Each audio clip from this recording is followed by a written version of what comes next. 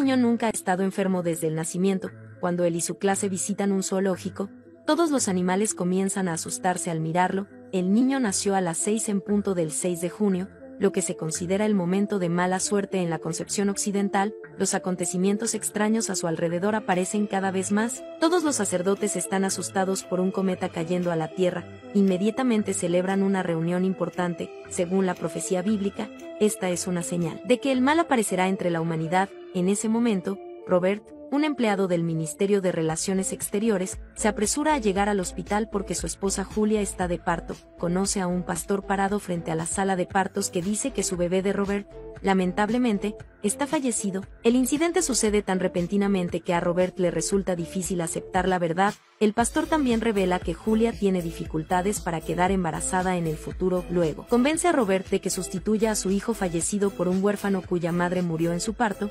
El pastor espera que Robert pueda criar al bebé y tratarlo como si fuera suyo para cumplir el sueño materno de Julia. Robert se ofrece a ver a su bebé muerto por última vez, pero el pastor lo detiene diciéndole que de amor para los vivos, después. Robert lleva al bebé al lado de Julia y lo nombra como David, gracias al amor de sus padres. David crece sano todos los días, un día, el superior de Robert recibe el puesto de embajador de Inglaterra, sin embargo, su superior tiene un accidente grave de camino a Inglaterra, provocando su muerte, por tanto, Robert se convierte en el embajador más joven, no obstante, Robert no se siente cómodo porque no quiere avanzar en base a la muerte de otros, dos años después. Robert y Julia organizan una gran fiesta de cumpleaños de 7 años para David, los asistentes no son solo aquellos con posiciones altas sino también periodistas, en la fiesta, la niñera de David es visitada por un perro negro, tras esto se suicida ahorcándose, dedicándolo como un regalo al niño, todos los invitados están asustados, gritando, Robert abraza de inmediato a su hijo para consolarlo, pero David no le da miedo, haciendo señal al perro negro. La noticia del accidente en la fiesta se extiende ampliamente, el fotógrafo Kate Jennings es quien tomó la foto de la niñera colgada, Robert quiere una compensación por dañar accidentalmente su cámara, pero Kate se niega, un día, mientras Robert trabaja en la embajada, recibe la visita de un misionero romano llamado Brennan quien dice que un error de Robert en el pasado creó un demonio asesino. A Robert no le importa hasta que Brennan revela que presenció todo el proceso del nacimiento de David y que el propósito de esta visita es expiar el pecado, luego Brennan dice que la madre biológica de David es un hombre lobo, eso hace que Robert se enoje, ordenando al guardia de seguridad a echar a Brennan. Después de la muerte de la niñera, Robert y Julia deciden buscar una nueva niñera, pero todavía no pueden encontrar una candidata adecuada. De repente, una mujer llamada Balak viene a solicitar un trabajo a pesar de que su nombre no está en la lista de entrevistas. Robert y Julia están tan contentos con ella que inmediatamente la contratan. Al día siguiente,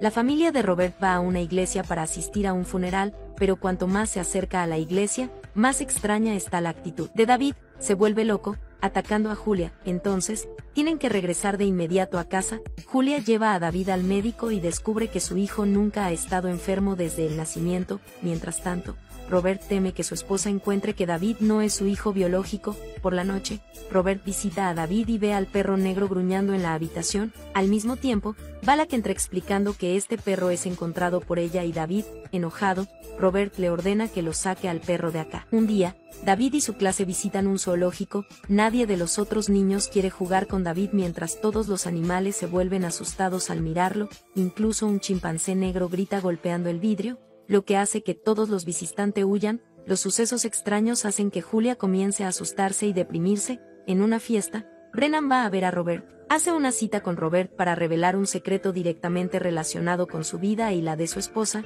Julia, en este momento. Cuando Kate está revelando fotos, descubre por accidente unos rayos de luz sobre la cabeza de Brennan, toma algunas fotos más de Brennan en las que el rayo de luz lo atraviesa por el cuerpo, al día siguiente, Roberto va a ver a Brennan. Brennan dice que David es un demonio que intentará matar a Julia embarazada y luego a Robert. Además, le aconseja a Robert que pida la ayuda de Bugin Hagin en la ciudad de Megiddo, pero Robert se niega airadamente, advirtiéndole que no aparezca frente a su familia. Después de que Robert se va, Brennan comienza a asustarse de la venganza del demonio, de repente, una terrible tormenta eléctrica aparece, Brennan corre a una iglesia cercana pero la puerta está bloqueada, como resultado, muere en un inesperado accidente cuando una lanza lo traspasa, al regresar a casa, Robert se entera de inmediato de que Julia está embarazada pero ella no quiere quedarse con el bebé, Robert se siente muy confundido y nervioso, especialmente después de ver la muerte de Brennan en las noticias, luego va a ver al psiquiatra de Julia quien lo convence de aceptar la decisión del aborto de Julia,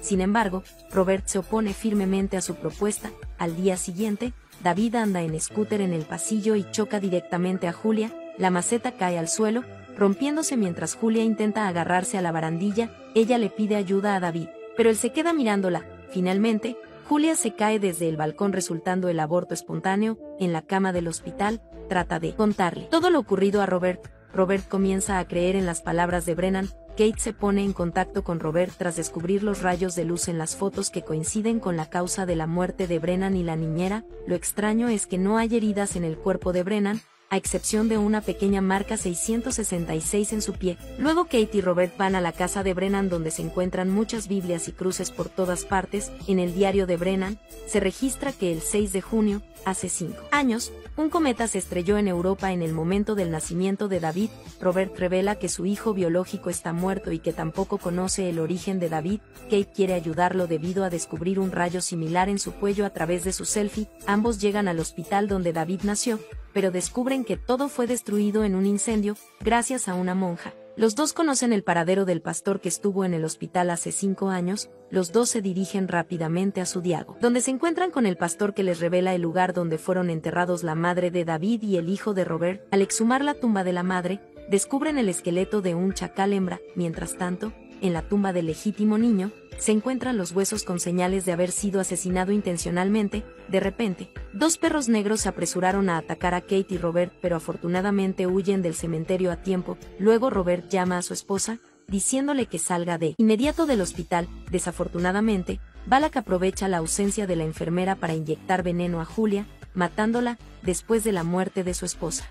Luego, Robert y Kate van a encontrar con Bugin Hagin quien revela que David es la encarnación del demonio, la única forma de matar a David es apuñalarlo con la daga que Bugin Hagin le da a Robert. Bugin Hagin le sugiere a Robert que revise una marca de nacimiento que se asemeja a 3-6 en el cuerpo de David, porque esa es una de las señales del seguidor del demonio Satán. A pesar de todo, Robert rehúsa asesinar al niño que ha criado durante cinco años. Kate toma la daga y lo persigue, tratando de aconsejarle que enfrente la verdad. Enojado, Robert se deshace de la daga y considera que Bugin Hagin es un supersticioso, debido a la terquedad de Robert.